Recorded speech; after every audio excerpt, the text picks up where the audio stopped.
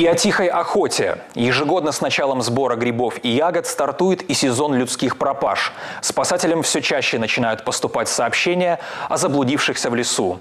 В нынешнем сезоне пора активных поисков, похоже, уже в разгаре. А ведь впереди осень, и все заинтересованные службы профилактики активно проводят осведомительную кампанию. Что делать, если заблудился в лесу, и какие вещи точно пригодятся, если тихая охота неожиданно стала тихим кошмаром? Выясняла Вероника Гамзюкова. Восемь лет назад в Гомеле появился поисково-спасательный отряд «Симуран». Его задача – поиск пропавших без вести. В отряде сегодня числится более 200 человек. Главное качество волонтеров – желание помогать людям. Руководитель «Симурана» Юрий Березюк отмечает, что при поисках человека самое важное – первые 70 часов. За это время людей, как правило, находят живыми. Хочется обратиться к людям, которые знают, что ваши родные, там, близкие, друзья ушли в лес, и если они обозначенное им время не вышли, не вернулись домой, не отвечают на звонки по телефону, не ждать. Сразу же обращаться в милицию, в МЧС напрямую к нам, чтобы, ну, чтобы мы не потеряли время. Потому что лес – это природная среда, тут может случиться все, что угодно. Сергей Примачев занимается поиском людей с октября прошлого года. У его одноклассницы пропал брат, и мужчина не смог остаться равнодушным. Этот случай стал одним из самых запоминающихся. Второй запоминающийся случай – это когда ночью пришло сообщение о том, что в Бобруйске пропал маленький ребенок. И тоже был собран клич, и среди ночи все выехали на поиски. Даже удивительно было, что столько людей собралось искать ребенка. Ребенка нашли тогда живым. Все хорошо. Мария Подкопаева в составе Симурана уже три года. Впервые она отправилась на поиски Максима Мархалюка из Гродно, который пропал три года назад. Девушка отмечает, что с того момента ее жизнь кардинально изменилась. А сегодня для нее самый главный страх – найти человека мертвым. Это даже вот трясешься весь от того, что ты нашел человека. Вот мы недавно нашли человека, одного дедушку в лесу. Руки тряслись, тряслось все, гроза, дождь, но волнение. Ну, успели тогда, и ну, все хорошо закончилось.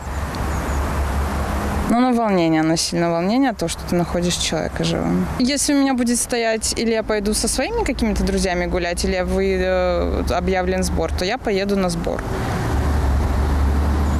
Ну, многие этого и не понимают, поэтому большинство друзей отсеялось. Даже на работе понимают, и бывает, что вот работают до 10, могут отпустить на пару часов раньше, когда говоришь, что вот пропал ребенок.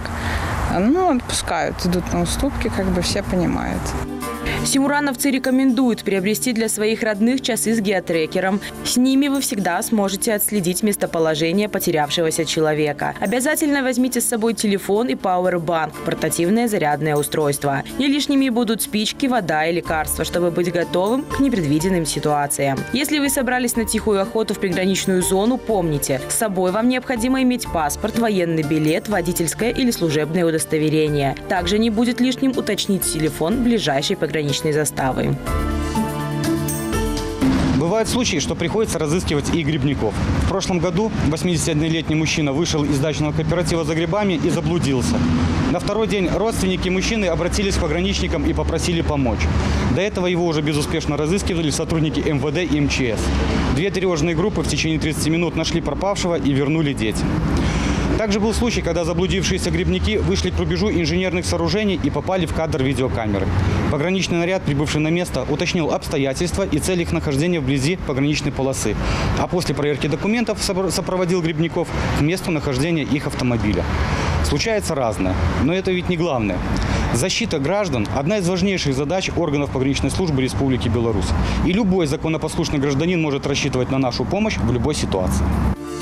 Ориентиром в лесу всегда служат реки и ручьи. В большинстве случаев они впадают в более крупные водоемы, где достаточно велики шансы встретить людей. Часто в лесу можно найти проезжую дорогу или линию электропередач. Заблудившемуся человеку необходимо держаться их, ведь они смогут вывести его к цивилизации. Были случаи, когда с нами связывался МЧС э, и попросили найти человека в том или ином месте. Они указывали, люди старались э, уже более, наверное, опытные в таком случае уже или знакомые с чем-то. Они э, подошли к квартальному столбу. Это такие столбы деревянные, коренные, с цифрами на щечках. Вот. Они сказали цифры, мы их сориентировали, где они находятся, сориентировали МЧС, в каком месте, по какой дороге туда подъехать к ним. Ну и так были найдены. Слово МЧС запустило мобильное приложение «Помощь рядом». В нем описаны различные ситуации и порядок действий в случае, если у вас произошло чрезвычайное происшествие. Кроме того, в этом же приложении вы можете одним кликом вызвать экстренные службы или позвонить родным. Вероника Гавдюкова, Александр Харлампов специально для программы «Де-факто».